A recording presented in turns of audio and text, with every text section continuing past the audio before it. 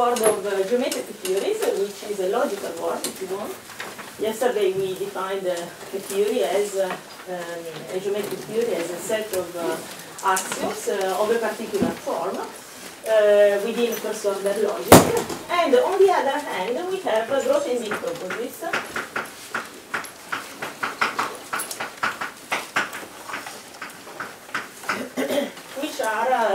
Categories uh, of sheets on uh, a site. Uh, and the classifying topos construction allows to make these two words in communication with each other thanks to the fact that to any geometric theory one can associate a Grothendieck topos, which uh, yesterday we saw that we uh, one can uh, build this topos in a completely canonical way, starting from T, by first taking the, this is the standard uh, construction, you take uh, the syntactic site of the theory, and then uh, the topos of sheaves on these syntactic sites satisfies the universal property of the classifying topos of the theory. I recall this fundamental property, it means that the geometric morphisms from any Grothendieck topos E to uh, this classifying topos are in categorical equivalence with the models of the theory in the topos E naturally in E. So this basically means that uh, we have uh, a particular uh, mathematical word, some sense, this is the classifying topos, which contains a particular model of the theory, which uh, we can call UT, uh, which is the model that corresponds to um, the uh, identity uh, here. If you take uh, if you take E equal to the classifying topos, then of course you have the identical geometric morphism here. And so to this, uh, it corresponds a particular model of the theory inside the classifying topos. And this uh, model uh, that uh, we call UT is universal in the sense that all the other models of the theory in other toposes, here. We can, for instance, take the topos of sets or whatever topos, all the other models can be obtained from this universal model by applying the inverse image functor of the geometric morphism, which is in fact uniquely determined by uh, the model. This is a Yoneda, classically Yoneda argument, because this means representability, as we remarked yesterday, of the pseudo functor of models of the theory. So the, you consider morphisms of models or isomorphisms of models? That is, T model of E. Ah no, here the morphisms are homomorphisms, uh, structure homomorphisms. I take uh, this as arrows. Yeah, and this corresponds then to morphisms of, Yes. of Yeah. between. Uh, This corresponds to, I mean, uh, there, yesterday we saw that there was an intermediate step to prove this, uh, which was through the Cartesian JT continuous functors, like this. And, uh, and so, uh, in fact, uh, I didn't explain this yesterday because of lack of time, but uh, when you uh, but the natural transformations here correspond to uh, the, the morphisms of models in the sense of sigma structure homomorphism. So you have that, and then from this to that it is completely standard. yeah, but in, in I don't know what the convention is, but in Grothendieck SGA4, the morphism of between two toposes form a category, and the Yes. hom between F and G is hom between F lower star and G lower star, so it's, it reverses the direction. No, but uh, it is the same thing as also in the other direction. They But- are in bijective correspondence. So instead of uh, Because taking he, here the model is obtained by applying F after star. Yes, of course, So but instead of taking uh, the morphisms here, you don't necessarily have to take the direct image to define them. You can take as It's an uh, adjoint. they are. Uh, it's uh, adjoint, so you can uh, um, you can uh, I mean define it in, in this way. So alternatively. Ah, So, this yes, it's the same. So this gives in some opposition relative to Grothendieck Yeah, of course. It's not exact, okay. Yeah, but uh, okay. So uh, so I was drawing here this picture just to show that uh, whatever model uh, you uh, want to consider of the theory inside any topos, uh, in particular in the topos of set, will be the image of this universal model uh, under some uh, Ah, a UT is what we call UT. MT? Uh, no, yesterday MT was inside the syntactic category, uh, but uh, what um, I mean, uh, uh, what you have to do to get UT starting from MT, you just apply Yoneda. Because uh, I mean, this uh, topology, this syntactic topology is subcanonical, so you have uh, Yoneda embedding here, and uh, so you can. Uh, so here we had defined the model here actually. So uh, is just the image of this uh, model there. And, uh, and so what you get is that this M will be isomorphic to UT and uh, N will be isomorphic to UT, etc. So this picture uh, shows you that uh, basically this is a sort of a, center of symmetry uh, of uh, the theory because uh, everything that happens elsewhere in some sense is a deformation of something that happens here at this core in which in some sense the syntax and the semantics of the theory meet because let us uh, recall that uh, in this universal model, whatever is valid is whatever is provable in the theory. So you have this strong completeness that is realized by this model. Okay, so this is just repeating things from yesterday. Sorry, just one question Yes. uh, before. Yeah. Um, if I understand correctly, this UT is actually an object. Sure. Well, no, not really an object because it depends. Uh, i- mean, it is a collection of objects for each sort uh, that you have. So if you have just a one-sorted language, you will get one object. If you have a many-sorted object, uh, this will assign to each sort of uh, the signature of the theory. So for each sort, you will have an object. You see. But uh, in general, you can have many sorts, so you don't have just one object. It is a model. So it, a model is a bunch of. Uh, For modules, for instance, you have a model for the ring and a model for the module. Well, it depends if you want Ah, to well. keep the ring fixed or not. If you want to make exactly, the, the exactly. yes, so if you want to make the, the ring variable, of course, then uh, the natural thing to do is to choose uh, to have two sorts. Yes. Okay, so um, now uh, since we have uh, this assignment, uh, a very natural question.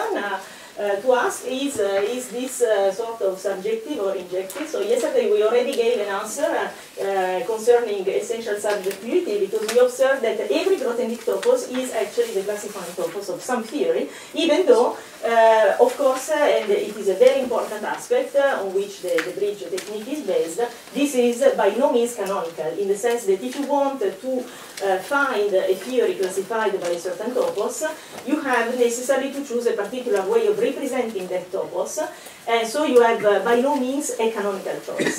In particular, this means that, uh, so yesterday we, we saw that uh, by choosing a site for the topos, uh, a site of definition for the topos, so given a topos like that, one could write down a theory as associated to this site, which formalizes uh, uh, J-continuous flat functors on C, and which therefore, by the Diaconescu equivalence, is classified by this topos. But as you can see here, we had to make a choice, uh, we had to, uh, to, to choose a site, and of course, a, a phenomenon that uh, occurs uh, very frequently is that uh, you can represent the topos in many different ways. So there is this uh, essential element of non-canonicity, which uh, shouldn't be uh, seen as a disadvantage of the theory, quite the opposite in fact, because it means that the theory is extremely flexible and in particular capable of unifying uh, different mathematical contexts, different mathematical theories, which uh, share a common semantical core. Uh, because actually, uh, I mean, now we have understood surjectivity, but then we wonder if uh, this, uh, to, to which extent this assignment is, uh, say, injective, uh, in the sense uh, that when, it, when is it the case that we have an equivalence between the classifying toposes of two different theories. Of course, remember that since classifying toposes are defined by means of universal property, they are not uh, strictly determined, but uh, they are determined only up to categorical equivalence. So when I say that two fields are the same classifying topos, I actually mean that you have uh, a categorical equivalence between them. This is just a classical notion of uh, categorical equivalence. So you, you, you, you see the two toposes as categories, and then uh, the notion is the usual one. Uh, so you wonder when is it the case that uh, this happens? Uh, now uh, the definition, uh, the fundamental. De Sorry, ah, no. You, you don't keep the model when you say that. You just look at the abstract topos. Uh, yes, yes, yes, yes.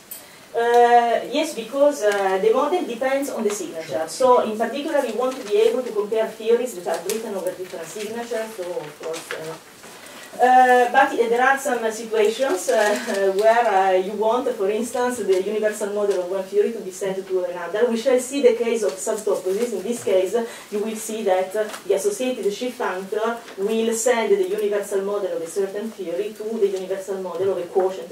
So there are situations in which uh, there are these correspondences, but in general, no. So, okay, so what is the, um, so we, we give a definition uh, T and T prime are said to be Morita equivalent. If this happens if we have equivalent classifying toposes. This is a standard uh, definition. it is not me that invented the term Morita equivalence. And of course there is a, a reason for this name, because it uh, actually generalizes the classical notion of Morita equivalence of rings. You say that uh, uh, recall that uh, you say that two uh, rings are uh, equivalent when the categories of uh, left modules over them are equivalent. And it turns out that you can formalize this, uh, we shall see it later, but uh, I mean, just to say that this is really a strict generalization of uh, the, the notion of uh, Morita equivalence uh, the classical one. Okay, uh, so uh, this means that we can identify Grothendieck toposes with uh, geometric theories considered up to Morita equivalence. And so the bridges that I would like to talk about are precisely about uh, the, the, possibility of using uh, the common classifying topos uh, that two theories might share together as a sort of bridge for transferring things from one to another. And this transfer, I anticipate, will be made by considering uh, invariants, categorical invariants that apply to toposes, so here at this level, and uh, looking at uh, how these invariants express in terms of the two theories related by the uh, equivalence. Now, what makes this uh, uh, technique interesting is the fact that, in general, you uh, the, the, notion of Morita equivalence is uh, strictly weaker than the classical notion of bi-interpretability that you have in logic. So bi-interpretability essentially means that you have a dictionary for translating formulas in the language of the first theory into formulas in the language of the second in a way that uh, this induces an equivalence at the semantic level. So uh, there are many, many examples of uh, theories that uh, are not bi-interpretable, but uh, that are Morita equivalent. So in those situations, uh, you don't have a dictionary, so you cannot perform a direct translation between the two theories, but still, uh, the fact that the two theories share the same classified topos means that they have a lot in common with each other, and the only sensible way to make the transfer between them uh, or at least the most uh, technically effective way is really to, um, to take this uh, common classifying topos and use it as a bridge through this uh, um, invariant consideration. In particular, they have the same models over sets. ah, yes, of course. This is, yes, I will also discuss the relationship between uh, the fact of having the same set-based models uh, with this more, but we, we shall come back to this later. So for the moment, uh, I would like to uh, just illustrate uh, the fact that uh, this uh, connection between uh, geometric theories and classifying toposes is a very natural one. Well, in order to, in some sense, we would like that natural constructions that we can perform on one hand translate, I mean, translate, they give rise to um, to natural constructions in the other world. So we would like, for instance, uh, natural logical construction that we wanted to perform on theories to translate into interesting geometric uh, operations that uh, we, we might want to do on toposes. So to illustrate the fact that actually this correspondence is extremely natural because, uh, for instance, by working with, uh, with toposes and making operations on classifying toposes, then when you look at these operations from the point of view of theories, you often find things that are very interesting. I will start with uh, a very simple uh, invariant notion, which is the notion of subtopos, and I will uh, describe how this notion expresses in terms of logic, so which is the logical counterpart of the notion of the subtopos. So here is a, result, which uh, I proved in, uh, in my thesis. So if um, we have a geometric theory,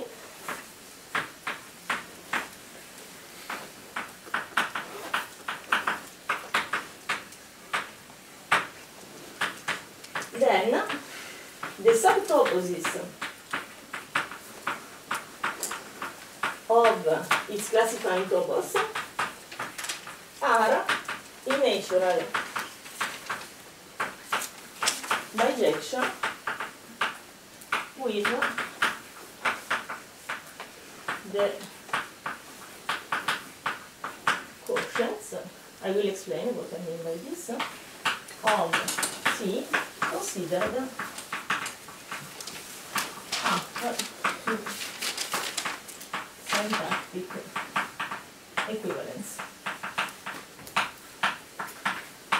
Okay, so I need to give some definitions uh, because uh, I don't. Uh, well, mm, André Joyal talked about uh, subtoposes, but let's just recall the definition. So, what is a subtopos of a certain topos? It is simply what is also called the geometric inclusion. So, it is a geometric morphism such that its direct image is full and faithful.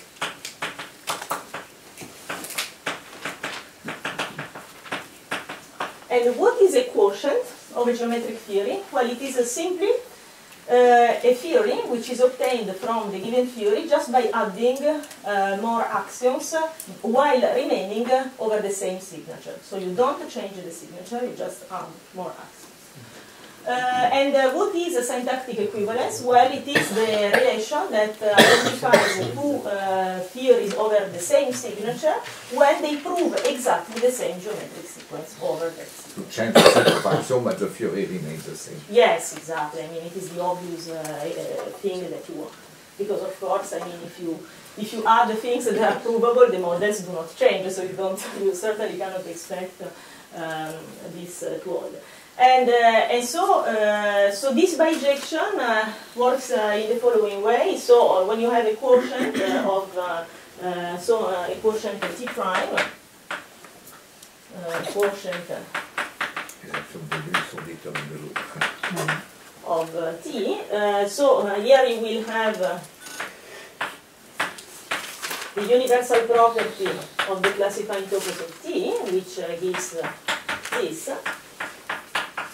And then uh, you can write uh, something uh, analogous for t prime.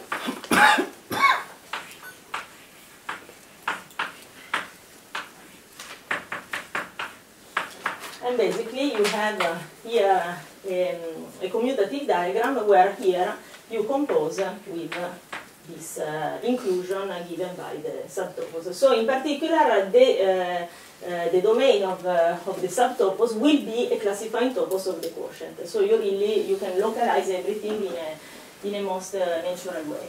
Okay, so how this uh, how does this work? Well, uh, the proof is not particularly difficult. I will just give the, the idea. We just use the representation, the syntactic representation that that we gave of the classifying topos of the theory. So let's call this. Uh, you take sheaves on the syntactic site, and you use the fact that uh, um, the, the notion of subtopos admits uh, a very natural site characterization. When I say site characterization, I mean uh, a way to describe this invariant in terms of a given site of definition for the topos. So, the, uh, so this uh, means that when you consider subtoposes of a topos of sheaves on a certain site, these correspond exactly to the Grothendieck topologies J prime on C which contain, which refine the topology J. Very natural uh, thing. So Uh, cover. Yes, it means that uh, to obtain J prime uh, starting from uh, J, you just add uh, more covering sieves. And in fact, uh, already from this remark, uh, you, you, you can be more or less convinced about the, the, the truth of this result because here on one hand you add more sieves and uh, on the side of logic you add more axioms. And in fact we shall see that adding axioms correspond to adding sieves on the other side. So more precisely uh, here what we have is that uh, uh, we have a, a direct bijection between uh, the, the Grothendieck topologies uh, J which contain the syntactic topology and the quotients of T. So how does it work? So imagine that you have a quotient T prime. So here it means that you have added axioms of this form, for instance, uh, to your uh, theory. Now uh, you can uh, uh, go uh, on the other side. So here you have to know what to add uh, to uh, the syntactic topology. And uh, so here you just have to recall that uh, flat, uh, flat, I mean, here we just have Cartesian. So Cartesian uh, JT continuous uh, functors, uh, um, which uh, yesterday we remarked uh, being the same as the geometric functors from uh, this uh, to um, any topos E, are the same thing as uh, the models. And this worked in the following way. A model was sent to the functor uh, Fm, which uh, sent any formula any geometric formula to its interpretation in n. So you observe that uh, this is uh, the same thing as asking this, uh, of course. And then uh, you can consider this uh, monomorphism in the syntactic category.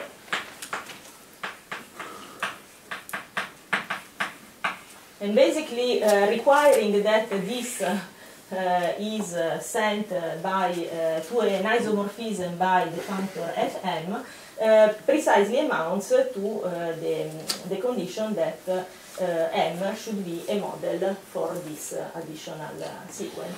And so from this you get the idea of considering the Grothendieck topology generated by all the, uh, the, the sieves generated by things of this form. And so uh, this is how one direction is, uh, is defined. And the other direction, uh, well, uh, yesterday we observed that uh, uh, we gave the definition of this syntactic topology. So um, basically you have a situation of this kind. So if you have a, we described how sieves uh, on this syntactic category were, so let's just recall this, have this.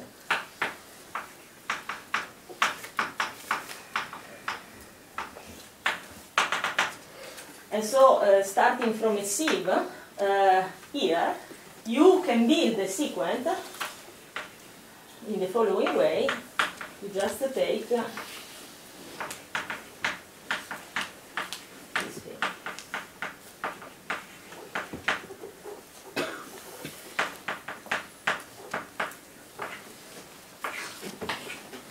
And so by adding all uh, the sequents obtained in this way, you will get your quotient. So I think it is pretty clear how it works. Of course, uh, there are some technical uh, things uh, to make the proof completely rigorous, but uh, Lydia, Yes. I, I think you should make the, the remark that it is not a completely straightforward application of what you did yesterday, because when you go from T to tri- T prime, uh, their syntactic categories as defined yesterday are not the same. ah yes, of course, in the sense that uh, you see a- here we represent. you see that. No, no, of course. Uh, here, uh, basically, I change the topology in the sense that I represent the classifying topos of P prime as uh, sheaves on, uh, on this. But we also know, by the general construction of classifying toposes, that this is also equivalent to, to this. So you see that uh, here we have a different category. So I mean, this is another illustration of the fact that you come all the time with multiple ways of representing uh, toposes. Uh, in the sense of multiple sites of definition for the same topos. It is very, very easy to, uh, to generate uh, different uh, possibilities for, uh, for describing the same topos. Okay, it's now... like describing the same group by different sets of generated Exactly, exactly. I mean, already Grothendieck made this comparison. He said that if we um, um, we, uh, we think uh, about this analogy group toposes, uh, then, then basically different sets, different sites of definition for one topos can be, are in some sense a sort of analog of different representations for the same group. Um, okay, so... Um, so quotients of T just means that you keep this exactly the same The same signature, signature. you just add more things over the, the signature. The formulas are also in geometric. Yes, always, always, yes. So if you do it with the other fragments, uh, you get the... It's a very good question. It's a very good question uh, that I asked myself, actually, uh, some years ago.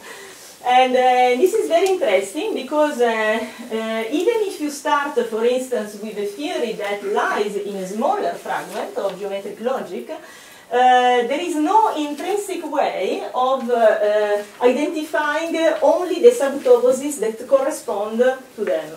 So I mean, there are some uh, invariants. Uh, for instance, uh, you can say that a topos is coherent.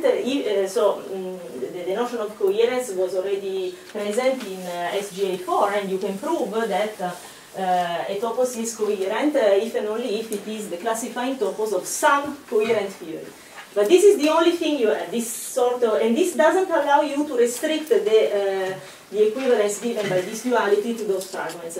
So this is interesting because it makes, uh, makes appear the fact that really geometric logic is the fragment that corresponds to the geometry of uh, Grothendieck toposes. So it means that uh, if you decide, for instance, to restrict your, uh, your attention to coherent toposes because maybe you like the axiom of choice and you are assured that they always have enough points, uh, when you perform operations which are as natural as the subtopos construction, uh, as the, the notion of, uh, you, you come out of that. So you see, this is an illustration of the fact that really the uh, logic that corresponds to Grothendieck toposes is geometric logic and nothing else. Okay, so now that we have this uh, duality, we can start uh, playing with it uh, because in the sense that... question. yes. when you when you look at the site of the, the CT prime, essentially yes. you are just adding more errors. The, the uh, objects are the same, but well, uh, what uh, yes, the objects are the same. Uh, what changes is the the provability because so the provability in T prime, yes, or provability in uh, in in T. So this so you have less, more, yes, more yes, exactly. -huh. And uh, and essentially the size will be the same because because you are you are adding a sieve on a certain object if that sieve is is a sequent derivable. No, you have uh, a different notion of arrow because uh, so it's a different category and uh, you have a different notion of provability. But when so receiving the old one in the uh, CTJ. Ah, for those in uh, in the old CTJ, one, yes. You get the sieve in the yes, new of one. course. But okay, have, so there could be new, yes, exactly. new sieves that essentially are covered already by exactly. the one in J. Yeah. What happens if you add contradictory axioms? Well, you can always do. Uh, so in this uh, way, you get a contradictory theory, and uh, this is. Uh, I mean, uh, how can it have a model? no, it has no models. So you have a topos which has no models, no points at all, ah, okay. and no, and which is trivial as a topos. I mean, you have a trivial topos. And, yeah. So, uh, no, it's a very important feature of logic, the fact of being able to talk about contradiction, because, I mean, it's not a taboo. I mean, we, no, no, it's important. It's like uh, when one works with imaginaries. I mean, you can add and then you will see whether it is contradictory or not, but you add. So the, the, the message of logic is uh, don't worry, add things and uh, think later. Yeah. You say, you say it has no model, I might object because uh, the degenerate topos would be a model. A, a model, Yes. Uh, yeah, I mean, uh, no, at least no set one model. zero. That's uh, the- when when usually in, in logic Yeah, they say something has no model. yeah. The logician means no non, non-empty model. Yeah, non-empty, Ah, okay, yes, of course. Yeah, That's yeah. what they mean. Yeah, yeah. But the, the case Yeah, of you the have empty model the would be trivial. the yeah, yeah, of degenerate course, if you want. No, no, the, you, you can treat, I mean, you have this degenerate topos and you can really study it as an object and you can also prove, uh, for instance, that the theory is non-contradictory by showing that the topos is non-degenerate. I did this, uh, for instance, in one of my papers. So I really proved that the topos is non-degenerate. I knew, for instance, that this topos uh, always had enough points, and I was able to deduce that there was at least one point, for instance. So uh, I was, uh, I proved uh, the existence of, um, of one set-based model of a theory using the degenerate For, for which theory? Well, it was uh, a theory of homogeneous models for a certain uh, theory of presheaf type. So it was uh, theories arising in the context of Fraïssé's construction. I will uh, maybe say a bit uh, about this later. Okay, so now uh, let's come back uh, to uh, this duality. So in this uh, duality, uh, you. If the theory is maximal, is complete, what happens to the classifying topos? Well, uh, if it is uh, complete uh, uh, in, uh, in the sense of geometric logic, it means that the classifying topos is two-valued. And uh, if uh, this set. topos is also atomic, uh, uh, which uh, is something important to have because if you have atomicity or at least uh, Booleanness, you can prove that the notion of completeness for uh, geometric logic, which means that either that um, uh, any geometric assertion is either provably true or provably false in the theory. Um, this notion becomes equivalent to the first order notion of completeness, which is not generally the case for any geometric theory. And for those theories like that, these are maximal with respect to the natural order of theories uh, that uh, it is induced by this duality. But uh, I will come back to this because here, of course, the duality gives a lot of things because at the level of subtoposes you have many structures that you can consider. In particular, you have the order between subtoposes. You can say one subtopos is included in the other. Uh, and so you can wonder what uh, it corresponds to at the level of theories. And uh, so dually, the, have an order between theories. You say two theories, uh, one is, uh, um, well, let's uh, write like this. Uh, one is um, uh, uh, smaller than the other if uh, this is a quotient of that. Uh, Which means that everything which is provable in T prime Yeah, is provable in Exactly, theta. exactly, exactly. Uh, another way of, see, of saying it. Uh, so, uh, so we have an order at the level of, uh, of geometric theories, which are quotients of a given theory, and uh, uh, knowledge of uh, uh, elementary uh, topos theory applied to the lattice of some of a given topos tells us that this order is actually a Heyting algebra. This defines a Heyting algebra structure because at the level of subtoposes you have a co-Heyting algebra structure. So since you inverse, reverse the inclusion, we get a Heyting algebra structure here. So it means in particular that you have a, a join, that you have a meet, etc. between theories. And it turns out that you can even give uh, a very explicit description of what these operations are. You You also have this, uh, you have that, and You get an atomic Heyting algebra because there are maximal theories. Uh, yes, you have. Uh, you can uh, almost. I mean, uh, it is almost. Um, it is not exactly, uh, but almost, in the sense that for most theories you can find a maximal one that uh, extends it. For most. So which, which operations are available on the collection of subtoposes? You say that you have a join and a meet. Do you have infinite meet, I suppose, just because you Yeah, have- you can also Yes. take that, of course. And yes. uh, uh, do you have some kind of complement or this doesn't make Yes, sense? yes, yeah, you have this uh, pseudo complement uh, if you want, yes. So this you always have when you are in a Heyting algebra. So. do you have uh, infinite uh, joins also? infinite joins. Yes, of course. Uh, if you want to take uh, uh, here, you um, uh, what you do at the level of logic, you just put all the the axioms of how do you define the join of two theories? Well, you take the axioms of the first, the axioms of the second, and you put all of them together. So you get certainly a new theory, provided that it is a set and. So yes, you can define this. Is there a, a, simple example of a geometric theory that does not um, admit maximal extension? No, but uh, maybe uh, the I mean, I, I didn't uh, think about this problem, but I proved that uh, in many situations I showed how you can uh, get something maximal out of a theory with some properties. But uh, it depends also on which kind of uh, set theoretic assumptions you want to make. Because, sorry? Many choices. Yeah, that's the point. That's the point. I mean, uh, if you want to do things completely constructively, then it can be a problem. But with, with choice, some, uh, with choice, you get the maximum point. No, not even sure. So in in many cases, yes, but. Uh, I mean, I repeat, I, uh, I haven't really addressed this uh, completely, but I can tell you that in most cases, yes. Uh, so, uh, you get this uh, Heyting algebra structure. So, of course, uh, we have talked about the join. Uh, okay, you can take the meet. So, this is, uh, you take things that uh, are provable in, in both separately. And, um, and from the fact that you have a co-Heyting algebra structure on, on the lattice of some subtoposes of a given topos, you get also some nice properties of this, like I mean, uh, you have uh, automatically distributivity for these operations, etc. So it's, it's a nice thing to have. And uh, now I don't have the time to write down the specific axiomatizations for these operations, but if you are interested, you can find them in, uh, in, uh, in my paper. So this is called the lattices of theories.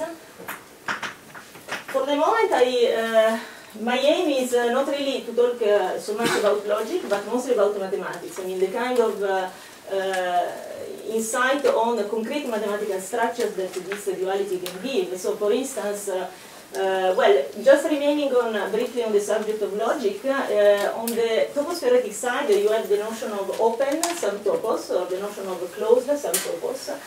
And um, so uh, these correspond to uh, extensions of this kind. So open subtoposes correspond to adding uh, geometric sentences like that. And the closed subtoposes, which are complements uh, uh, of uh, this, are given by sequence of this kind, always in the empty context, because these are geometric sentences over the language of the field.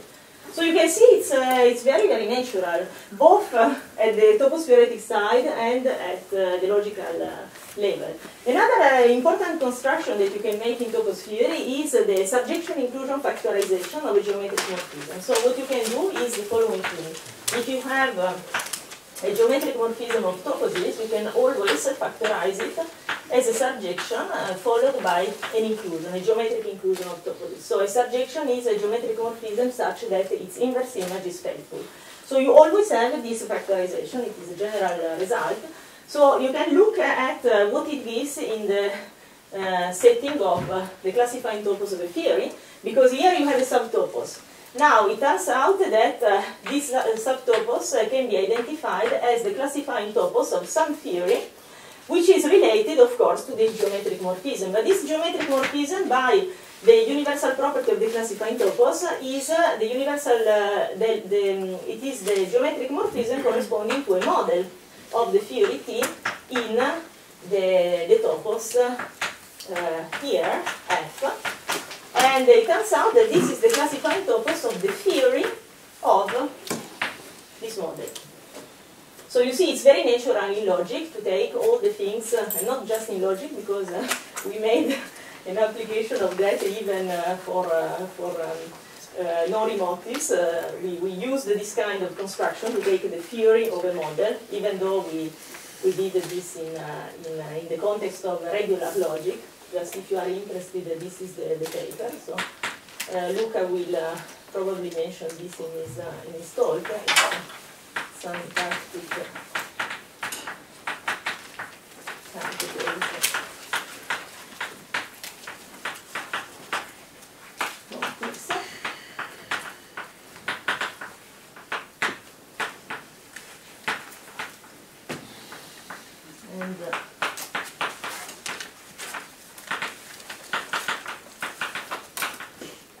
so, so we actually considered the theories of uh, this kind in, uh, in those paper, and we, we showed that uh, an appropriate version of the regular syntactic category of this theory yielded something that is equivalent to classical uh, non-remorphics. So you see, this is just to show that, uh, I mean, logic is really not uh, apart from mathematics, so it interacts very, very well with classical mathematical contexts. Sorry? Name is no more here. you are allowed to say that now.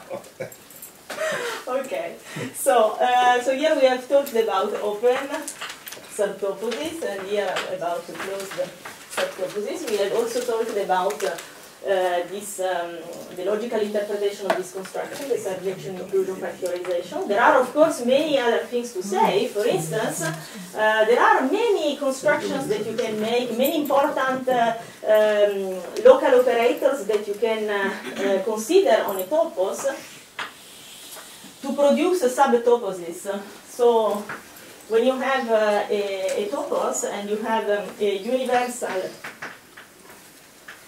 closure operation on subobjects of,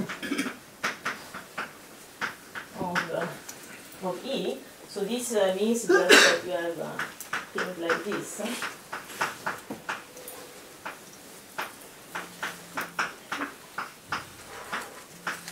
and uh,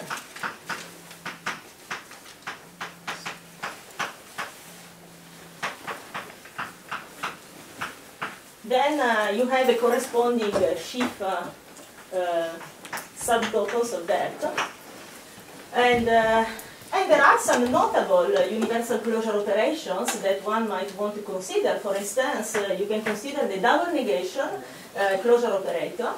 This gives what is called the Booleanization of a topos. So this is called the Booleanization of. It is a, a universal way of making a topos Boolean. And uh, you have many other um, operations that you can uh, Sorry. construct. Sorry, can you construct this subject? Uh. Well, you take, uh, uh, for any subobject M, uh, you consider the double negation of that. And uh, you here, you, the negation is the pseudo complement in the Heyting algebra in which the subobject is. So the subob- you have an Heyting algebra of subobject, so you just take this and you take it two times, and so you get something bigger. So it is. Uh, so you define it in this way. You operate in the lattice of sub of, of Of the subobjects, subobjects, not subobjects. Yeah. So, uh, so this is uh, one example, but of course uh, there are many more, uh, and I mentioned this just because of uh, the relevance that it has in the, the context of uh, various natural mathematical theories. There is another uh, construction that I introduced, which apparently is very eccentric. So basically, I proved that given a topos, there is always a largest dense subtopos of that, satisfying De Morgan's law. Now, I'm not going to explain exactly what it means, but just uh, to show that uh, apparently, you see, um, here we are talking about the Morgan law on a topos, so this means uh, that uh, in this uh, Heyting algebras of subobject, this law holds. And the demorganization is a sort of universal way of making a, a, top, a topos uh, uh, De Morgan. And uh, basically, as you can see, uh, here you are doing a completely topos-theoretic considerations. So apparently you don't expect that when you look at this thing under the mirror of the duality, you will find meaningful examples in, uh, in the context of particular mathematical theories. But actually, the reality is the opposite because, for instance, uh, we proved uh, with uh, Peter Johnstone that uh, if we take the classifying topos for uh, the theory of fields, so a very simple and natural theory, and we consider the demorganization of it, then this corresponds under the duality to a very natural theory, which is the theory of fields of finite characteristics, which are algebraic over their prime field. So you see, this is, uh, I mentioned this just as an illustration of the fact that uh, even apparently weird and uh, remote constructions that you can make here uh, might give rise to naturally uh, defined uh, mathematical notions. And here, since I have talked about Booleanization, what does it give in the context of the same theory? Well, it gives the fields that are, moreover, algebraically closed.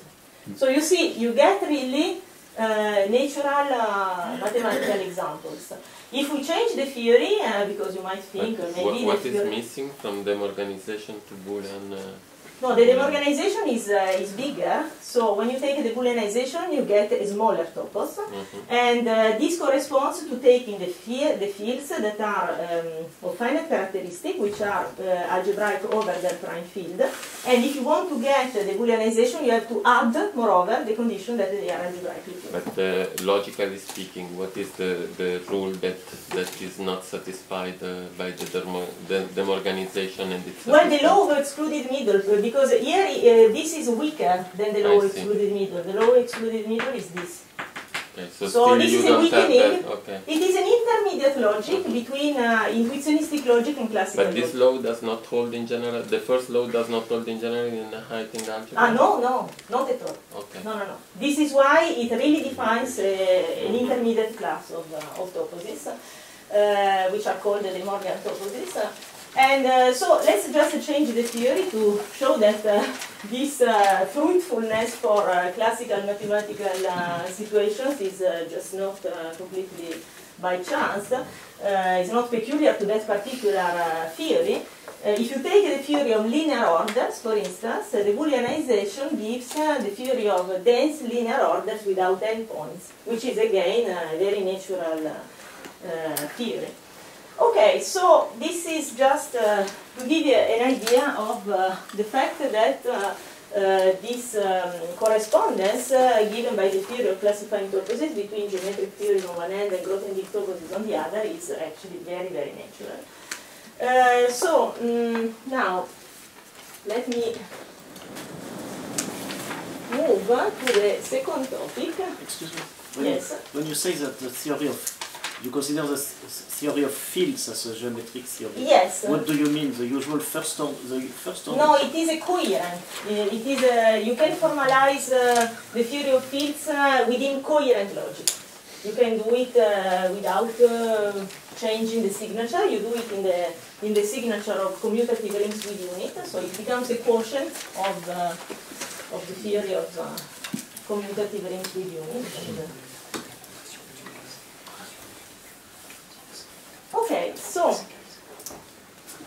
Now let us talk about theories.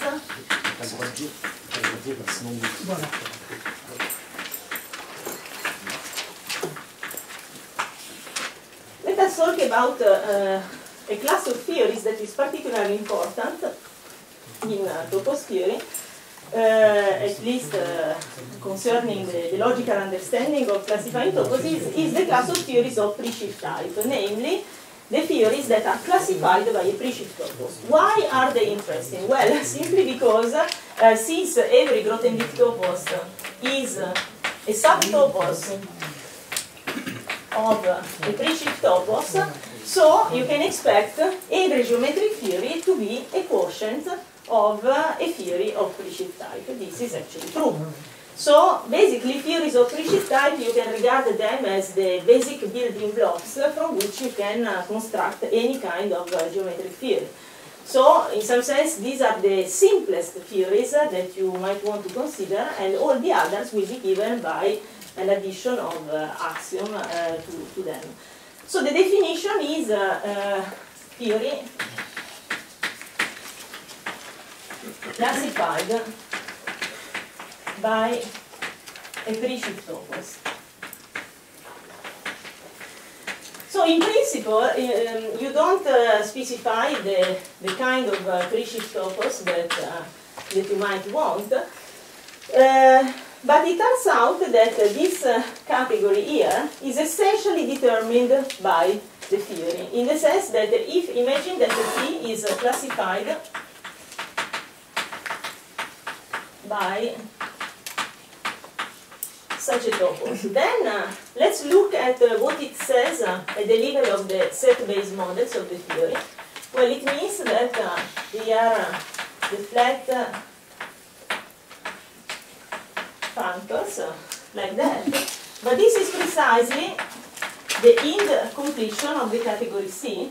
Why? Uh, because uh, flat functors are just uh, the functors that are filtered colimits of representables.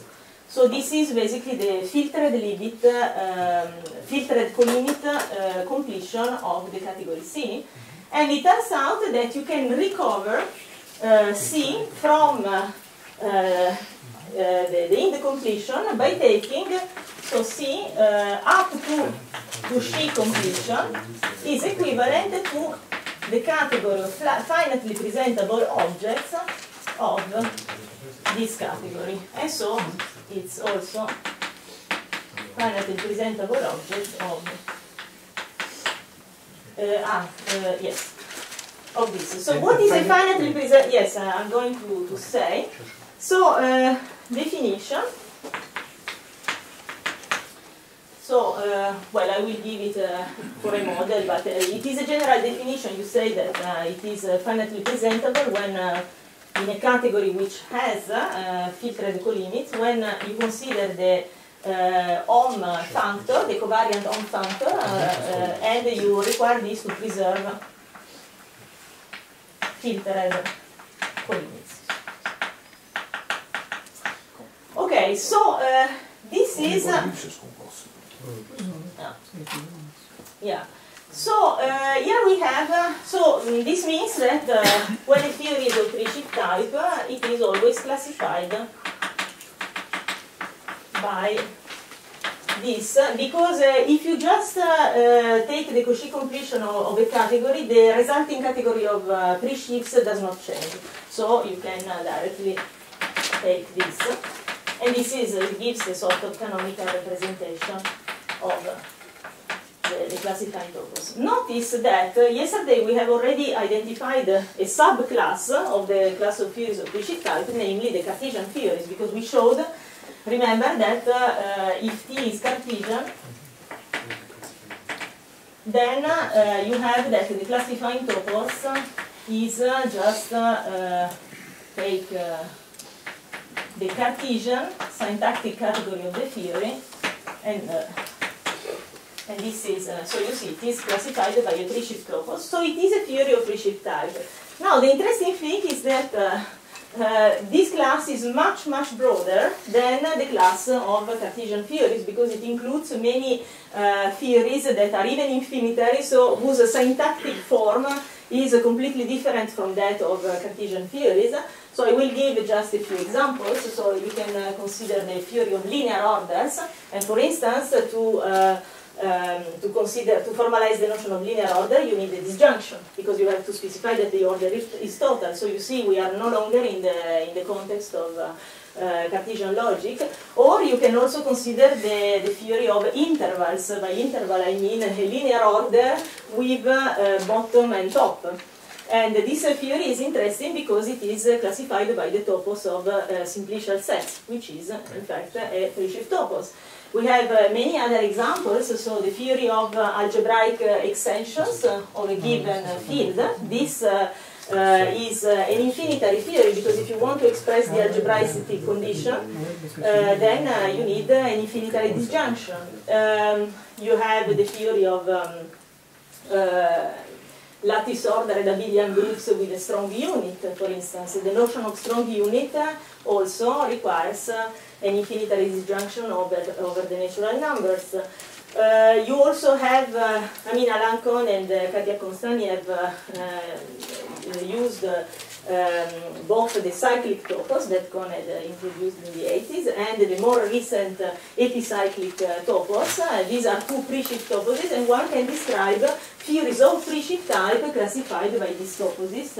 we did this in a, in a paper entitled Cyclic theories, if you are just curious to see what it gives, uh, they are uh, uh, relatively simple theories that one can describe, and but simple but not Cartesian. Uh, which are classified by these uh, important uh, toposes.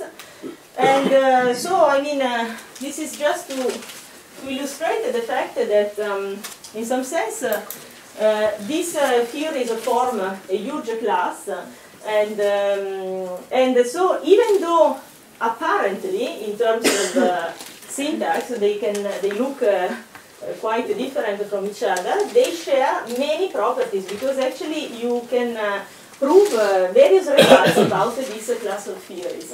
For instance, a very natural question that you can mm, ask about the theories of presheaf type is what about the classical syntactic notion of finite presentability? Because I can uh, define you see, normally one uh, in universal algebra, one defines a model to be finitely presented if there is actually a formula that presents this model. While the definition that I gave here is completely semantic. I mean, you, you just, uh, is categorical. You work in a category and then you require a norm function to preserve filter limits. And you might wonder whether uh, uh, there is a relationship between uh, this syntactic notion of finite presentability and the semantic one. But let's give the definition. So M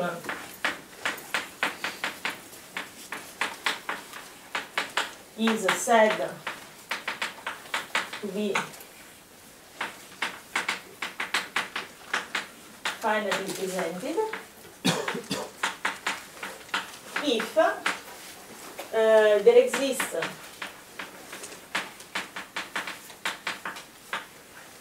a formula, always considered in context, a geometric uh, formula in context, such that basically the the elements of the interpretation of this formula in any model n uh, are in natural uh, correspondence between the homomorphisms from the model to n. So you see, this is, uh, for those of you who are uh, familiar with free structures, uh, this is a generalization because in the case of when you have true, you, you just find the notion of free model. and here we allow any possible geometric formula. So you see, we have this, uh, this uh, definition. What is n? And uh, apparently uh, there is a, a, significant difference between the two. But immediately you can realize that uh, if a form, if a model is finitely presented uh, syntactically in this sense, then uh, it is also finitely presentable. This is uh, quite easy to show but the converse is by no means straightforward because imagine that you start uh, uh, from something that is finitely presentable in this semantic sense. It is not a priori clear uh, at all how to find a formula that presents it. And you have no clue to, to do this. But we have a, a, a sort of um, special uh, method to address this kind of uh, problems, uh, the bridge technique, which suggests us to work with multiple representations of the classifying topos of uh, our theory. And uh, so in the case of uh, theories of presheaf type, uh, this is uh, very nice because have on one end the classical syntactic representation of the classifying topos, and on the other end we have this semantic representation. I say semantic because you see uh, the notion of finite representability that I use here is the semantic one, so I use this. And, uh, and I know that it is correct because we obtained the, the, this description of the classifying topos by using the semantic definition rather than the syntactic one. So I have that. And uh, now I try to play with, uh, with this. So yeah, I just have uh,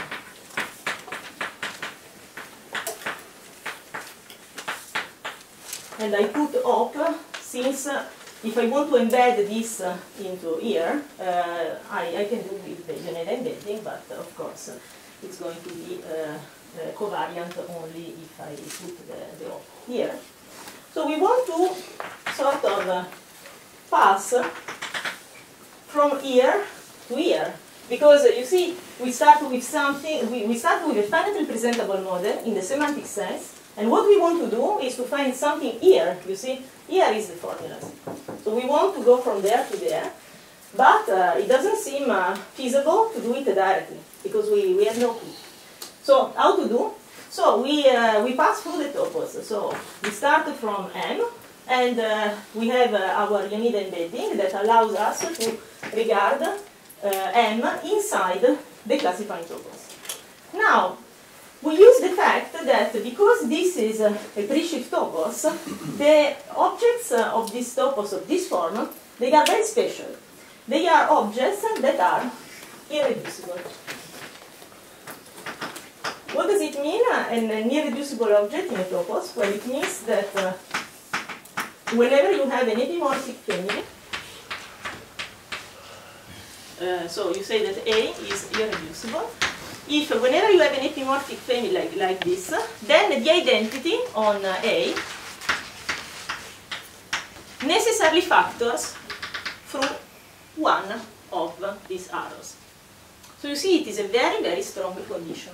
It is not something that, in fact, it is a condition that characterizes exactly the representables uh, up to Cauchy completion. Of course, uh, uh, if the category is not Cauchy complete, then you could have a retract of something that also is irreducible without coming from the site. But here you see we have a Cauchy complete category. So we know that this is irreducible, then uh, we, we can transfer it here. So let's call uh, the object that uh, we get here A.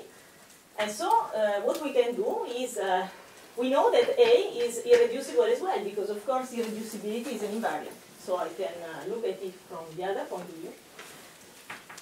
And what I am very tempted to do, since I really want a formula, well, uh, I don't yet know that A is a formula, but I can certainly cover it with formulas. Because every object uh, in a, um, in, a, in a topos of sheaves, this is a general fact, I mean, if you have a topos of on a site, then uh, if you take all the arrows from the representables, when I say representables, of course, you have to apply the associated sheaf functor to these representables, but uh, so I denote it like that, A, J, or C, all the objects of this form, you make C vary, uh, give epimorphic families. You have to assume it's subcanonical?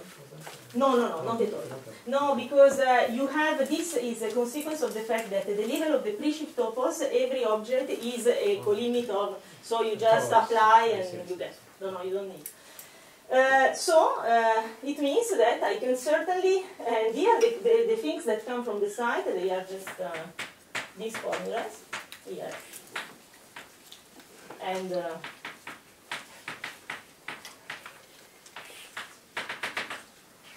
And since uh, we know that A is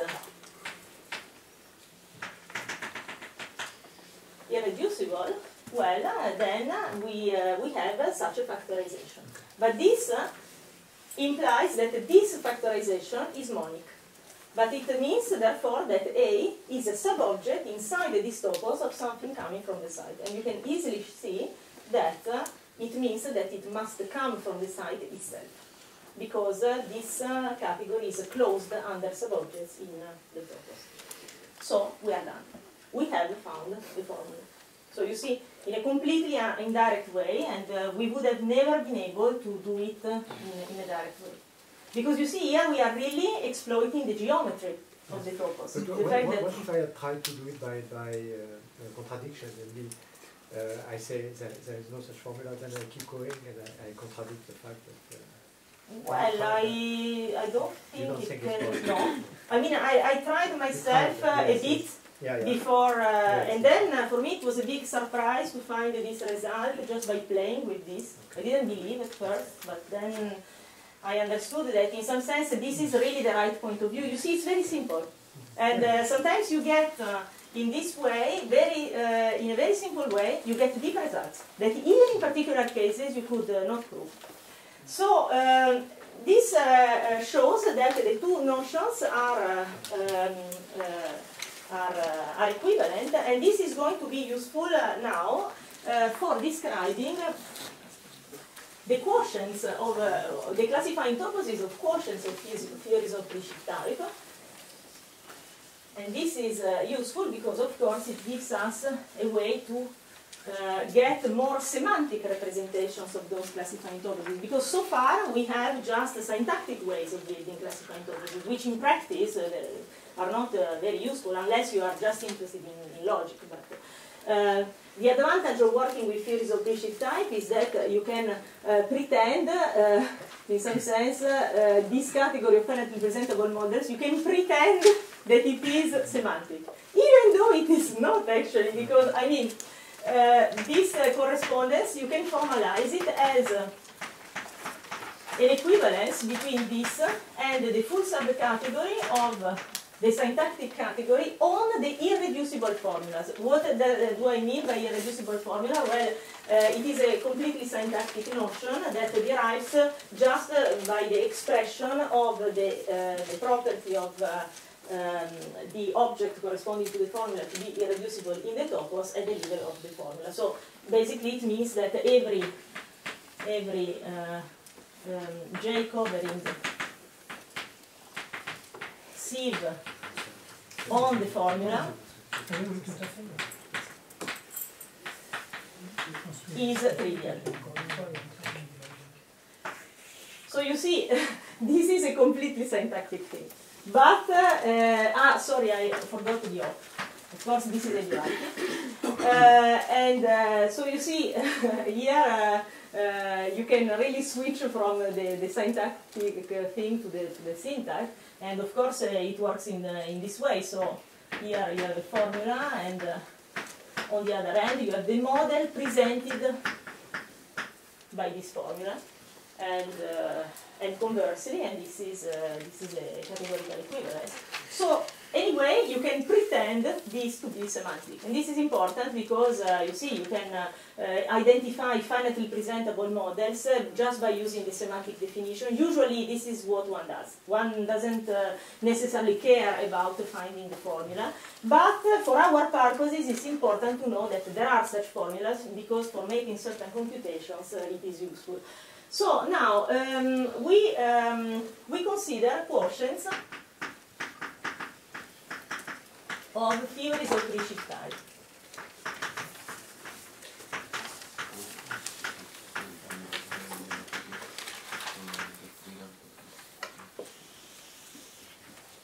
How much I get? Seven. So, uh, quotients of theories of presheaf type, this is, um, this is a natural uh, subject to consider because, uh, as we have remarked, uh, as any subtopos, as any Grothendieck topos is the subtopos of uh, some uh, some uh, presheaf topos. So any geometric theory is a quotient of some theory of presheaf type. So uh, we want, uh, we hope to be able to obtain a semantic representation of the classifying topos of these quotients by, um, by starting from uh, the representation, uh, the double, the double representation that we have for the theory of presheaf type. So we start from this, and uh, then what do we do? So we know uh, by the, the theorem that uh, we proved uh, above that if I have a quotient uh, t prime, well I will write it here, t prime quotient of t, then it means that I have a subtopos of the classifying topos for that. But now I move here and uh, I recall that uh, subtoposes of such a topos are just the localizations of uh, this, so it means that uh,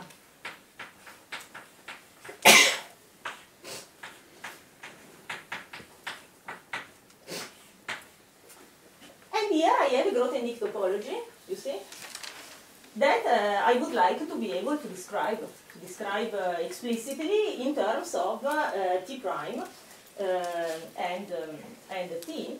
Uh, basically, I mean, talking about the t prime is the same thing as uh, talking about uh, j. But you see that uh, it is not uh, completely clear how to go from one to the other, because uh, you see here um, the, the formulas are, uh, so imagine if you have a, a sequent like that, that you add to, uh, uh, you add to t uh, in order to form a t prime. How can you find the, the Grothendieck topology J starting from, uh, uh, from this?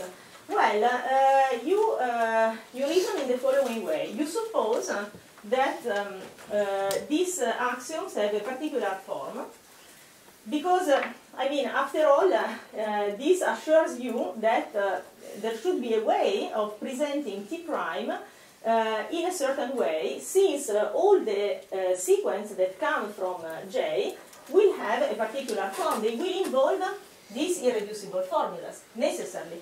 Because, uh, you see, we are working here, and uh, we are precisely working on the, the opposite of that. But the opposite of that is precisely uh, that. And uh, maybe we can just write like that to emphasize this point. So here I am, uh, you see, in some sense all the axioms of the theory should be uh, expressible in terms of irreducible formulas. But this is a bit, uh, mm, a bit strange because, uh, I mean, why should this be the case? Well, uh, the reason uh, is that uh, you can cover every formula in the classifying topos of the theory T, which is of presheaf type, you can cover it by irreducible formulas. This is the logical translation of the fact that you can cover every uh, every sheaf, I mean every object of the classifying topos from uh, with things that come from the site. Uh, so what, does it mean uh, concretely? Well, it means that uh, I can cover in this way. So this is uh, my geometric formula. It means that there exists a JT covering sieve which is generated by formulas that are T reducible. So I will have my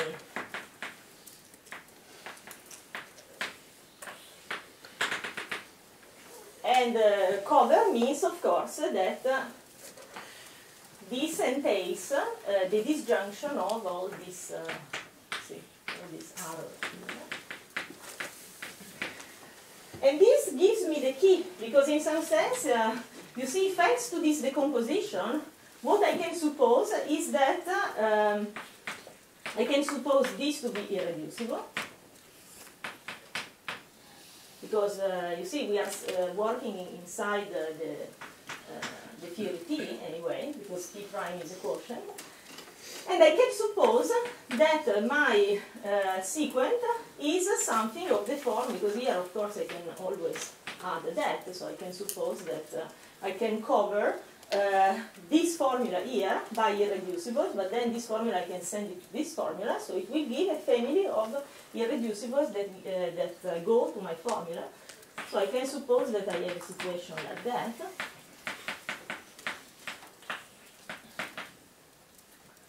Uh, where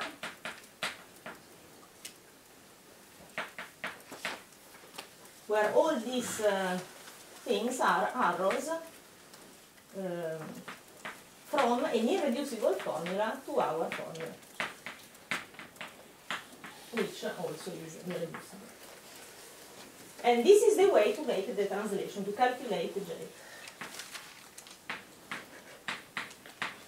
Because, uh, you see, uh, we can exploit precisely this duality. And so, uh, I mean, concretely, uh, it, uh, well, let's, uh, let's